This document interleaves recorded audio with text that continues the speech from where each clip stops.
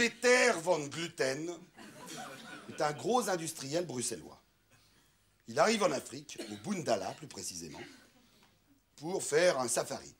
Alors son guide vient l'accueillir à l'aéroport. Bonjour, monsieur Van Gluten. Je suis Miko, votre guide. C'est moi qui vais vous guider dans la savane bundalaise. Dites, euh, je voudrais vous demander une chose. Je suis venu pour chasser l'autruche ici. Est-ce que vous sauriez me montrer un beau troupeau d'autruches bien grasses une fois? Oui, ça, j'en ai un très très beau troupeau d'autruches à 5 minutes d'ici. Mais il faut prendre la zip. Prendre la zip? Mais non, la zip, le 4x4, quoi. Alors ils chargent tout le matériel du Belge dans la Jeep et ils partent tous les deux, nuages de poussière, vroom, dans la savane. Il voit des tas d'animaux, des girafes, des éléphants, des lions, des singes.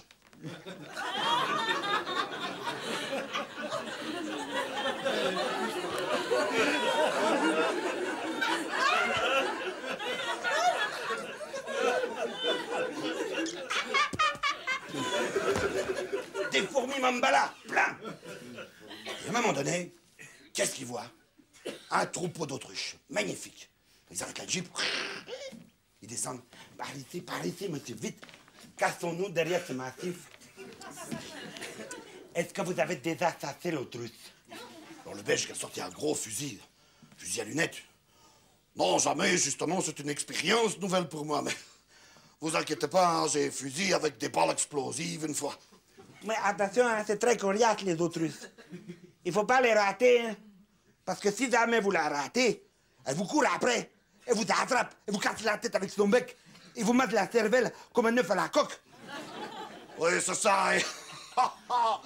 Et, et qu'elle compte pas sur moi pour apporter les mouillettes. hein. Attends, je vais me faire la grande là-bas. Je vais lui faire la tête comme une pastèque. hein. Il épaule, vise bien, et tire. Oh, la balle, elle passe à quelques centimètres de la tête de l'autruche. Vont.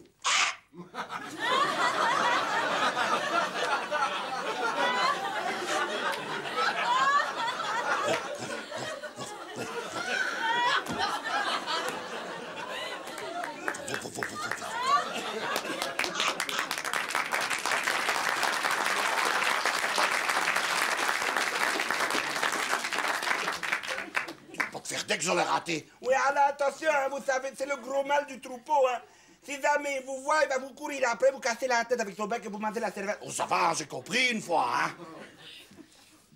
C'est pas complètement obtus. Cette fois, je vais me la faire. Je vais mieux viser. hein. C'est rusé, ces bêtes-là. La balle part et tac Elle ricoche sur l'aile de l'autruche. Et-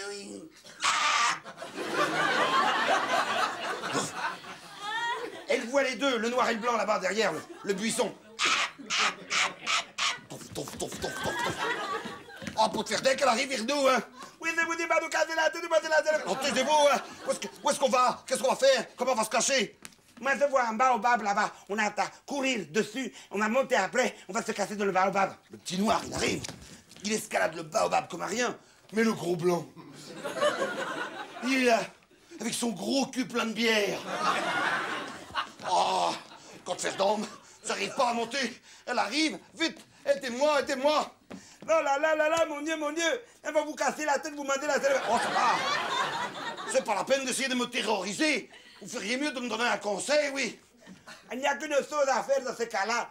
Vous creusez un trou dans la terre, vous mettez votre tête dedans pour la protéger. Ça, c'est pas bête, hein. Effectivement, C'est pas bête du tout parce que c'est exactement ce que font les autruches quand elles veulent se cacher. L'autre, il creuse un trou à toute vitesse. Il met sa tête dedans. Il était temps. L'autruche vient d'arriver.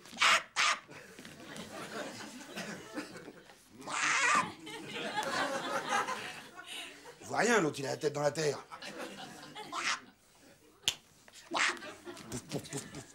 Retourne vers son troupeau. Pendant ce temps-là, le mico qui est dans l'arbre.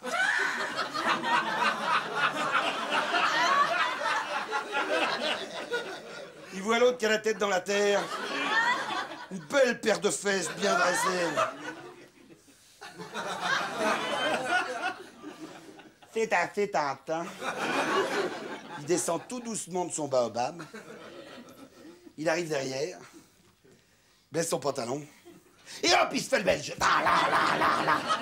Et l'autre dans la terre qui rigole. Vas-y, vas-y, l'autruche. Tape, tape le temps que t'atteignes la cervelle.